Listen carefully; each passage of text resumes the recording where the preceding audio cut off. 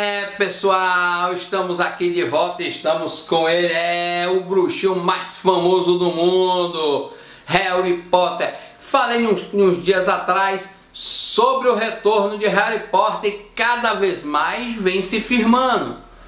E o elenco já está todo confirmado, tá todo mundo em volta, tá um, um alvoroço no mercado. Por quê? O que é que eu estou falando? Ninguém quer errar, papai.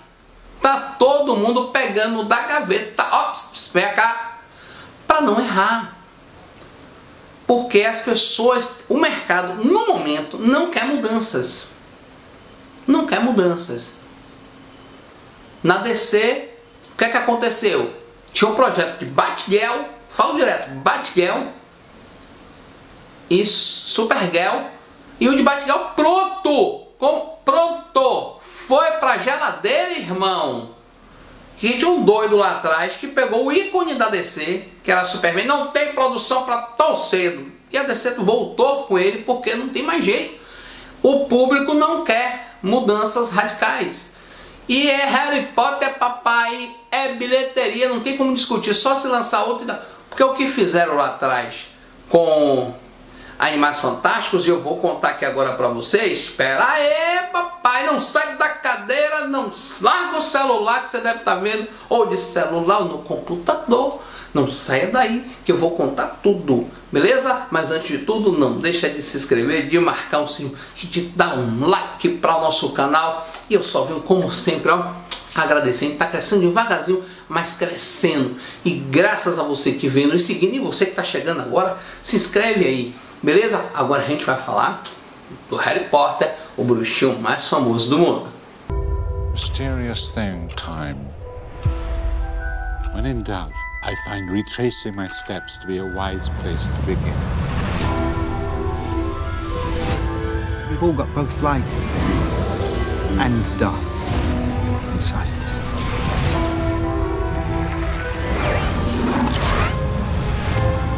What matters part we choose to act on. É, papai, ele volta com a variquinha, mamãe. Olha pra cá. Blim, blim, blim, blim, blim, blim, blim. Caixa registradora, mamãe. Ninguém quer errar. Fizeram Animais Fantásticos. O primeiro ainda foi bom. Segredos de Dom Bundó. Horrível, horrível, horrível, horrível. Horrível. Não dá para errar com Harry Potter, é uma forma de bola, como eu digo. Quem faz já sabe como fazer.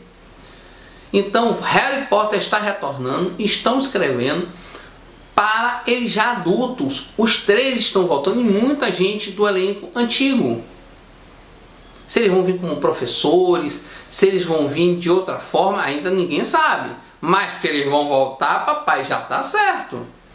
Não é para 2023, acredito que é projeto para 2024. Não é um projeto fácil, não é um projeto que você começa, ah, grava aqui amanhã, amanhã lança. Mas já podemos ficar felizes em ver Harry Potter de volta com uma produção de altíssimo nível que a gente sente saudade, o que veio de filmes de bruxinhas e de bruxos imitando Harry Potter, mal feitos, mal colocados, CGIs horríveis, são as invenções que não, não se empeçam em cabeça.